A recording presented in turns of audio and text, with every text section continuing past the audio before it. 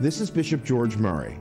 On behalf of your Catholic friends and neighbors in the Diocese of Youngstown, I invite you to join us for this celebration of the Holy Mass.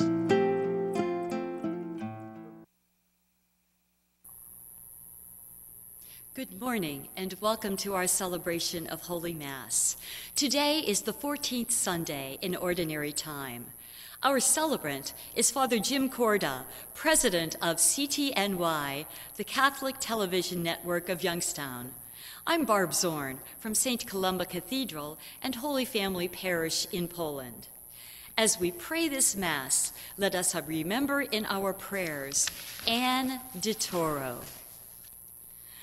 God has spoken by the prophets, spoken his unchanging word, each from age to age proclaiming God the one, the righteous Lord.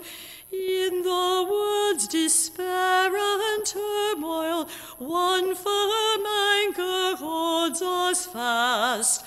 God eternal reigns forever, God the first and God the last. In the name of the Father, and of the Son, and of the Holy Spirit. Amen. The Lord be with you. And with your spirit. It's good to be with you this morning as we gather to celebrate God's presence in Word, in Eucharist, and also within us. So together let us acknowledge our sins and prepare ourselves to celebrate the sacred mysteries. I confess to, To Almighty God and to you, my brothers and sisters, that I have greatly sinned in my thoughts and in my words, in what I have done and in what I have failed to do, through my fault, through my fault, through my most grievous fault. Therefore I ask Blessed Mary, ever Virgin, all the angels and saints, and you, my brothers and sisters, to pray for me to the Lord our God. And may Almighty God have mercy on us, forgive us our sins, and bring us to everlasting life. Amen. Lord, have mercy. Lord, have mercy. Christ, have mercy. Christ, have mercy. Lord, have mercy. Lord, have mercy. Let us join the angels in their hymn of praise. Glory to God in the highest, And on earth peace to people of good will. We praise you, we bless you, we adore you, we glorify you, we give you thanks for your great glory. Lord God, heavenly King, O God, almighty Father, Lord Jesus Christ, only begotten Son, Lord God, Lamb of God, Son of the Father, you take away the sins of the world, have mercy on us. You take away the sins of the world, receive our prayer. You are seated at the right hand of the Father, have mercy on us. For you alone are the Holy One, you alone are the Lord, you alone are the Most High, Jesus Christ, with the Holy Spirit, in the glory of God the Father. Amen. Let us pray.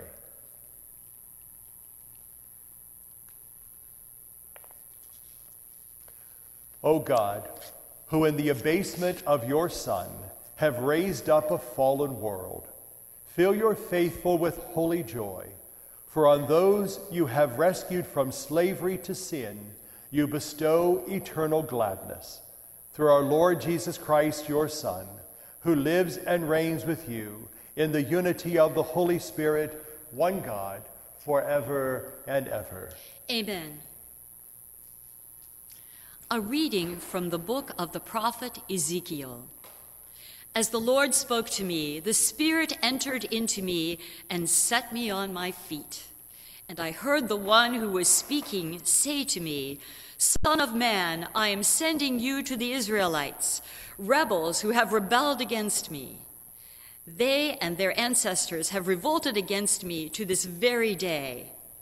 Hard of face and obstinate of heart, they are to whom I am sending you. But you shall say to them, Thus says the Lord God. And whether they heed or resist, for they are a rebellious house, they shall know that a prophet has been among them. The word of the Lord. Thanks be to God. Our eyes are fixed on the Lord, pleading for his mercy. Our, eyes are fixed on the Lord, pleading for his mercy. To you I lift up my eyes, who are enthroned in heaven, as the eyes of servants are on the hands of their masters. Our eyes are fixed on the Lord, pleading for his mercy. As the eyes of a maid are on the hands of her mistress, so are our eyes on the Lord our God, till he have pity on us. Our, eyes are fixed on the Lord, pleading for his mercy. Have pity on us, O Lord, have pity on us. For we are more than sated with contempt. Our souls are more than sated with the mockery of the arrogant, with the contempt of the proud. Our, Our eyes are fixed on the Lord, pleading for his mercy. A reading from the second letter of St. Paul to the Corinthians. Brothers and sisters, that I, Paul, might not become too elated because of the abundance of the revelations. A thorn in the flesh was given to me, an angel of Satan to beat me, to keep me from being too elated. Three times I begged the Lord about this, that it might leave me. But he said to me, My grace is sufficient for you, for power is made perfect in weakness. I will rather boast most gladly of my weaknesses, in order that the power of Christ may dwell with me. Therefore, I am content with weaknesses, insults, hardships, persecutions, and constraints for the sake of Christ. For when I am weak, then I am strong. The word of the Lord. Thanks, Thanks be, be, to God. God. Alleluia. The Spirit of the Lord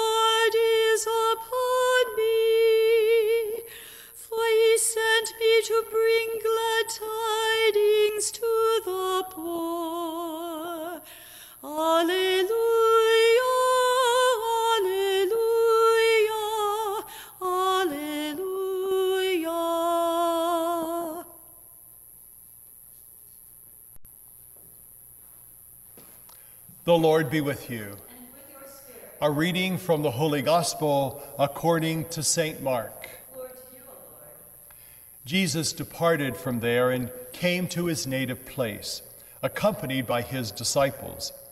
When the Sabbath came, he began to teach in the synagogue, and many who heard him were astonished. They said, Where did this man get all this? What kind of wisdom has been given him? What mighty deeds are wrought by his hands? Is he not the carpenter, the son of Mary, and the brother of James and Joses and Judas and Simon? And are not his sisters here with us? And they took offense at him. Jesus said to them, A prophet is not without honor except in his native place, and among his own kin, and in his own house.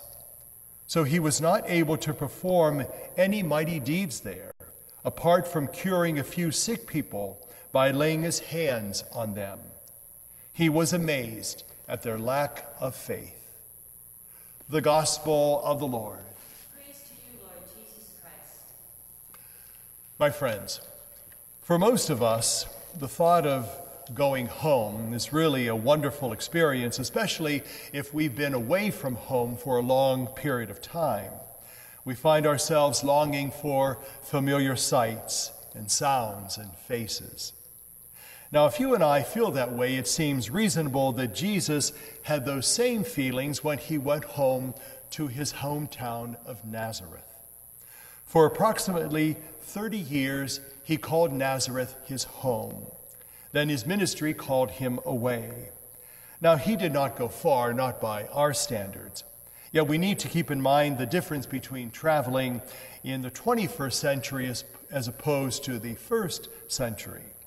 Now, we could hop on a plane and be almost anywhere in the world in a matter of hours.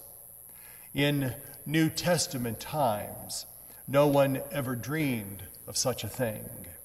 There were no paved roads, no cars. The primary means of transportation was to walk. Now, suppose your hometown was 30 miles away. and the only way to get there was to walk. How often would you go home? Well, some of us would make the trip more often than others, but for many it would be quite an occasion. And that's how it was for Jesus. When he left home, time and distance did not allow him to return often. Well, today's gospel tells of the time when he did return, and he must have gone home with great excitement. But we see that the visit proved to be one of the, dis- the greatest disappointments in his life. On the Sabbath, he went into the synagogue to teach. And there they were somewhat oppressed, impressed by what he had to say. But then he was only to them the son of the carpenter, the son of Mary.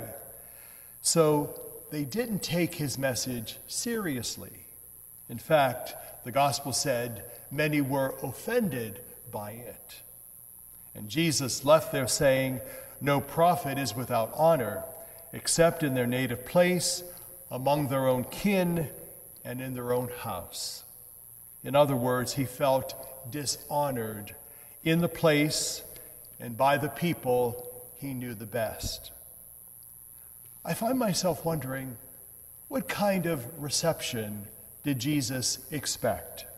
In other words, what kind of honor does Christ want from us? Well, one thing for sure is that we would never ridicule Jesus. We would never take offense at Jesus. We would not write him off as the mere son of the carpenter. From our vantage point in history, we see him as he really is the Son of God, the great teacher, the Savior of the world. Now, if Jesus came to our hometown, we probably would have a big parade and celebration. We would have the mayor present him with keys to the city, and everybody who is anybody would come to honor him. We would show him the churches, the cathedrals, basilicas built in his honor. We would share songs written about him. We would ask him to turn on the television or the radio and hear programs and preachers proclaiming his power to save our hometown would not make the same mistake as his hometown of Nazareth. But I still find myself wondering what kind of honor does Jesus want from us? Do you think that he would desire the kind of honor that I just expressed? I don't think so. People who have depth of character and bigness of mind would be offended by such extravagance. Now leave the city of Nazareth and walk with Jesus, and you'll see how little he cared for flattery and honor. One day, a man knelt before him and called him good teacher. And his response was, Why do you call me good? Only God is good. On another occasion, he watched the scribes and Pharisees decorate the graves of the prophets whom they and their parents had killed. Remember, prophets were immune to flattery. And Jesus stands in the line of all the great prophets, and he, even less than they, are pleased with flattery and honor. The people of his own hometown dishonored him with their ridicule we would never do that, but we do dishonor Jesus in other ways. We give him words of praise that at times are just mere lip service. He could care less for our parades and our songs and our churches. He would care more about our personal lives and the quality of our relationships.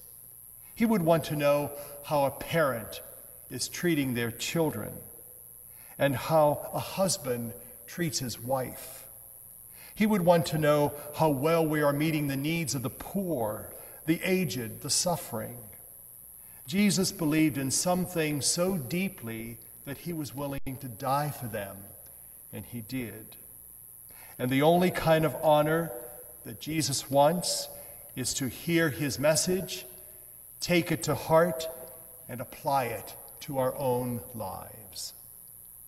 No prophet it was, is without honor except in their native place.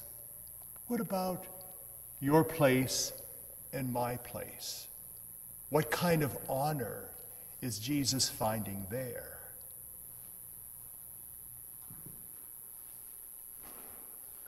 Together, let us proclaim the faith that we all share. I believe in one God, the, the Father, Father Almighty, maker of heaven and earth, of all things visible and invisible.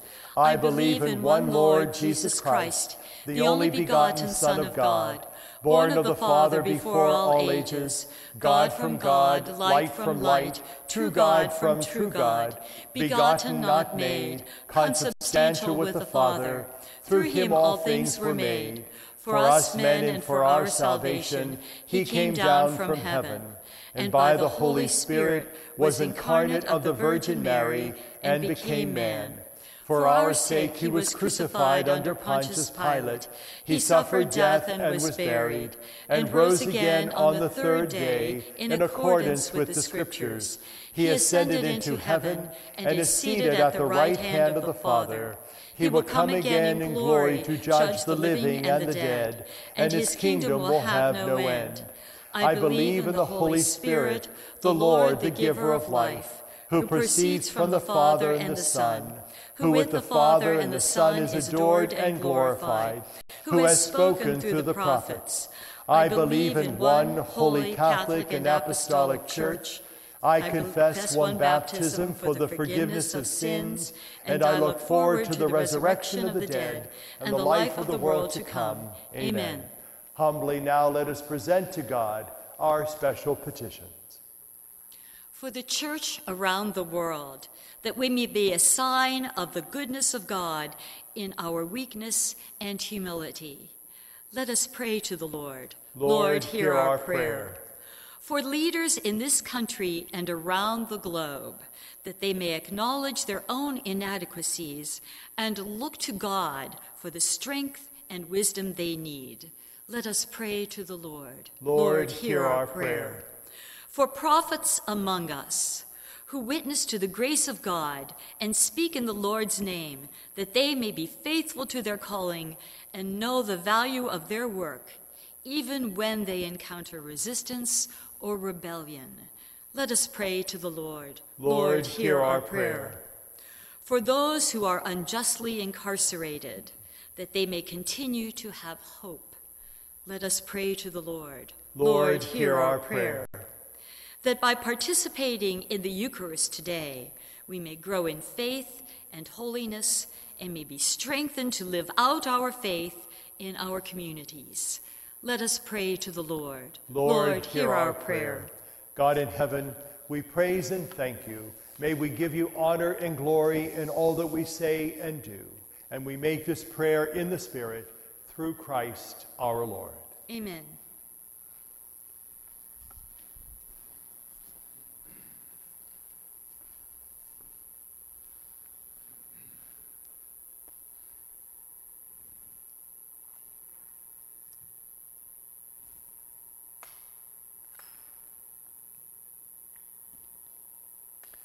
And let us pray, brothers and sisters, that my sacrifice and yours may be acceptable to God, our Almighty Father.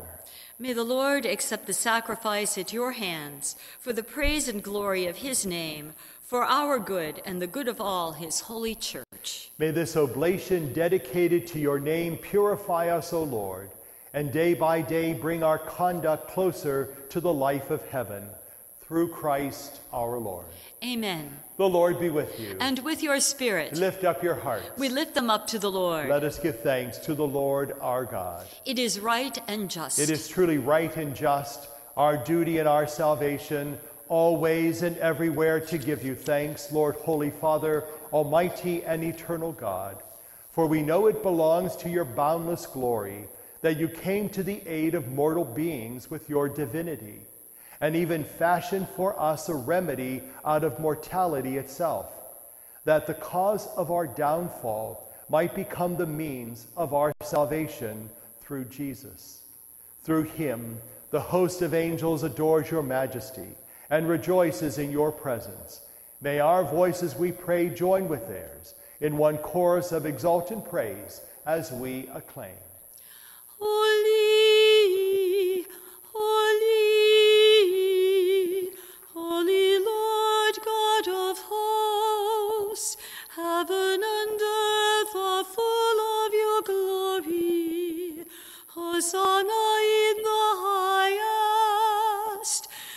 Blessed is he who comes in the name of the Lord. Hosanna in the highest. You are indeed holy, O Lord, the fount of all holiness. Make holy, therefore, these gifts, we pray, by sending down your Spirit upon them like the dewfall, so that they may become for us the body and blood of our Lord Jesus Christ. At the time he was betrayed and entered willingly into his passion, he took bread, and giving thanks, broke it, and gave it to his disciples, saying, Take this, all of you, and eat of it, for this is my body, which will be given up for you. In a similar way, when supper was ended, he took the chalice, and once more giving thanks, he gave it to his disciples, saying, Take this, all of you, and drink from it, for this is a chalice of my blood, the blood of the new and eternal covenant, which will be poured out for you and for many for the forgiveness of sins. Do this in memory of me. The mystery of faith. We proclaim your death, O Lord, and profess your resurrection until you come again. Therefore, as we celebrate the memorial of his death and resurrection, we offer you, Lord, the bread of life and the chalice of salvation, giving thanks that you have held us worthy to be in your presence and minister to you. Humbly we pray that partaking of the body and blood of Christ, we may be gathered into one by the Holy Spirit. Remember, Lord, your church spread throughout the world and bring her to the fullness of charity, together with Francis, our Pope, and George, our Bishop, and all the clergy. Remember also our brothers and sisters who have fallen asleep in the hope of the resurrection, and all who have died in your mercy. Welcome them into the light of your face. Have mercy on us all, we pray, that with the Blessed Virgin Mary, Mother of God, with blessed Joseph, her spouse, with the blessed apostles, St. Paul, and all the saints who have pleased you throughout the ages, we may merit to be co heirs to eternal life and may praise and glorify you through your Son, Jesus Christ. Through him and with him and in him, O God, Almighty Father, in the unity of the Holy Spirit, all glory and honor is yours forever and ever. Amen. Amen. Amen.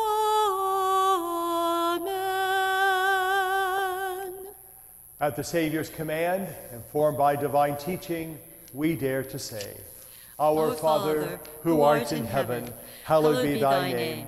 Thy kingdom come, thy will be done, on earth as it is in heaven. Give us this day our daily bread, and forgive us our trespasses, as we forgive those who trespass against us. And lead us not into temptation, but deliver us from evil. Deliver us, Lord, we pray, from every evil. Graciously grant peace in our days, that by the help of your mercy we may be always free from sin and safe from all distress, as we await the blessed hope and the coming of our Savior, Jesus Christ. For the kingdom, the power, and the glory are yours, now and forever. Lord Jesus Christ, who said to your apostles, Peace I leave you, my peace I give you. Look not on our sins, but on the faith of your church, and graciously grant her peace and unity in accordance with your will, who live and reign forever and ever. Amen. And may the peace of Christ be with you always. And with your spirit. Lamb of God, you, you take, take away the sins of the world. Have mercy on us. Lamb of God, you take away the sins of the world. Have mercy on us. Lamb of God, you take away the sins of the world. Grant us peace. Behold the Lamb of God. Behold him who takes away the sins of the world. Blessed are those called to the supper of the Lamb. Lord, I am not worthy that you should enter under my roof, but only say the word, and my soul shall be healed.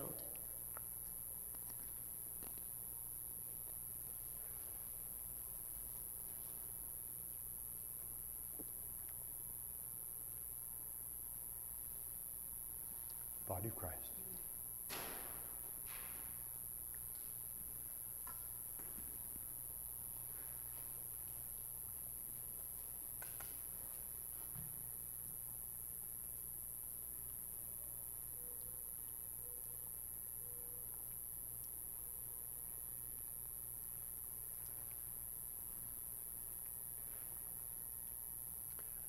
Let us pray. Grant, we pray, O Lord, that having replenished by such great gifts, we may gain the prize of salvation and never cease to praise you through Christ our Lord. Amen. The Lord be with you. And with your spirit. And may Almighty God bless you, the Father, the Son, and the Holy Spirit. Amen. Go forth, the Mass is ended. Thanks be to God. To Jesus Christ, our sovereign King,